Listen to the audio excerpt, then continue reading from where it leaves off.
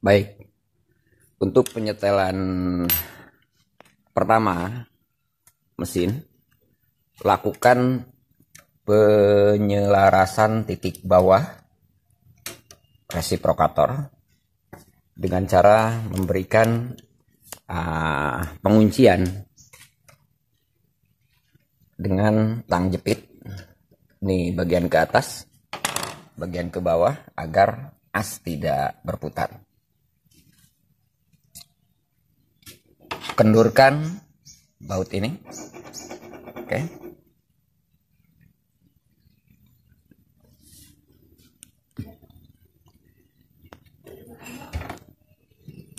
Dan coba style di bagian uh, cam.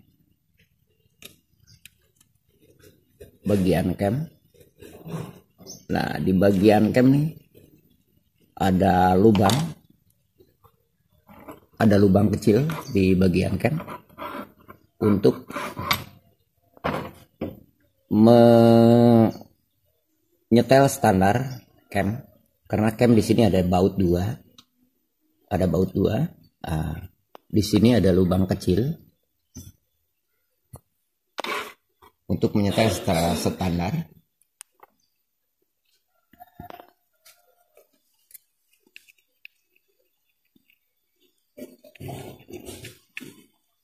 ini dia.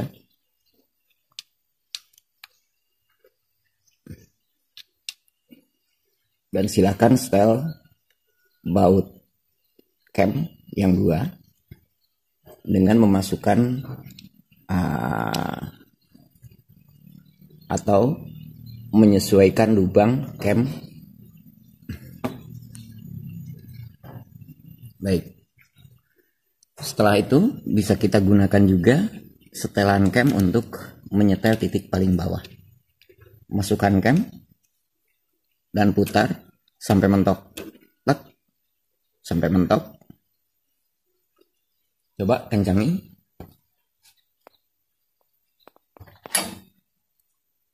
Lakukan pengencangan. Oke. Ke belakang. Ya. Ini nggak usah dipegang, biarin aja. Oke. Tekan, tekan, tekan sampai paling bawah.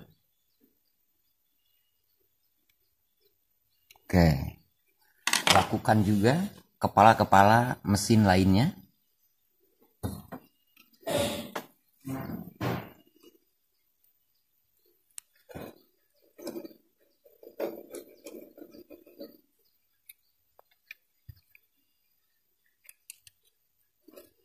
Terus putar, ya. Oke, masuk, masuk sampai masuk, ya sampai masuk. Putar sampai mentok. Oke, udah. Selesai. Ya selesai. Sedikit dipegang ditekan. Langsung melakukan penguncian dengan mengencangkan baut. Ya oke. Cukup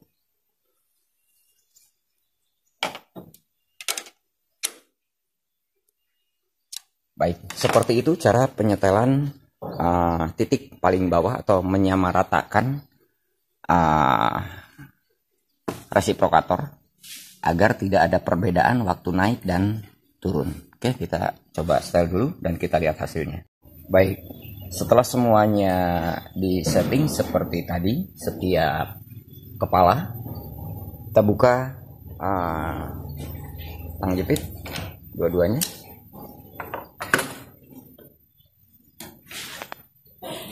Oke. Kita lihat dari samping. Lihat dari samping. Sampai resiprokator naik dan turun tidak ada perbedaan. Semua seragam nah, seperti ini benar-benar seragam ke bawah dan ke atas Oke. perlihatkan coba perhatikan sedikit-sedikit. Ini benar-benar rata dan tidak ada perbedaan dari kepala nomor satu sampai ujung Oke, seperti itu. Nah, inilah cara penyetelan dan penyesuaian titik paling bawah resiprokator. Benar-benar sama rata. ini sangat berpengaruh nanti saat penyetelan rotary hook dan menyangkut juga hasil jahitan juga uh, kerapihan jahitan menyangkut juga putusan benang bordir. Oke kita lanjut.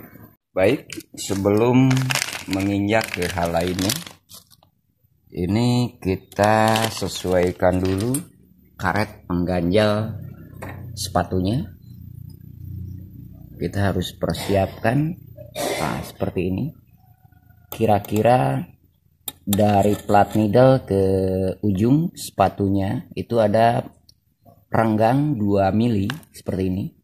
2 mili. Dan kita tumpuk karet-karetnya nih sampai kira-kira tidak menyentuh plat needle. Baik kita menggunakan karet-karet yang seperti ini. Karena ini lebih bagus. Silahkan coba pasang. Cek dites. Jadi tiang jarum bisa dipasang di luar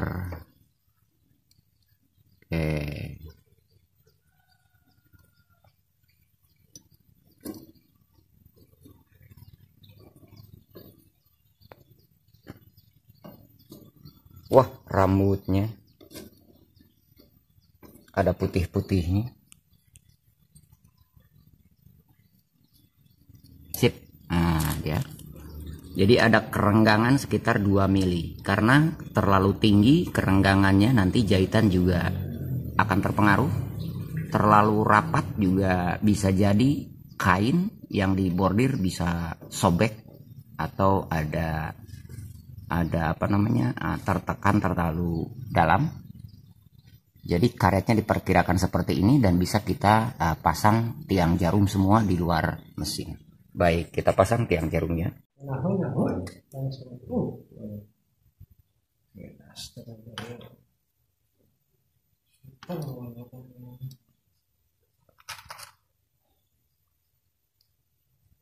Baik, penggantian dan penyetelan di bagian selenoid untuk jumping juga harus benar-benar teliti.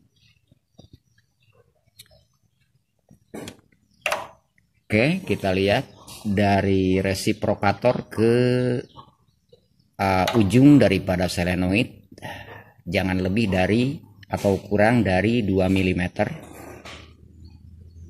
Terlalu mepet juga akan mentok ke resiprokator atau terlalu jauh juga akan kurang uh, dorongan daripada res, uh, selenoid ke resiprokator. Oke, okay. caranya, okay.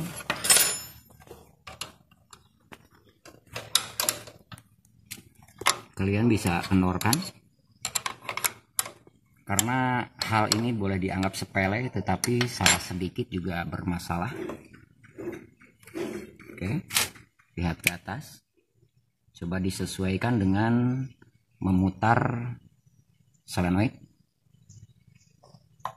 yang jaraknya sekitar 2 mm dari resiprokator. Oke baik kencangkan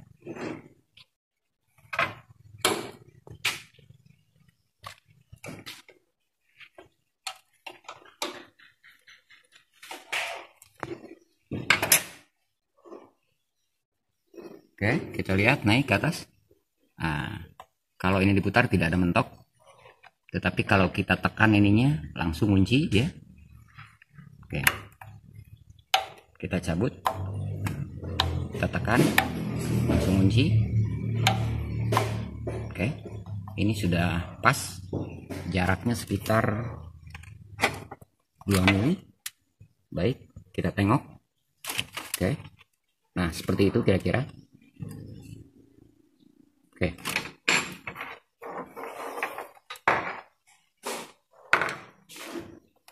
Dan itu disamaratakan semua tiap kepala mesin.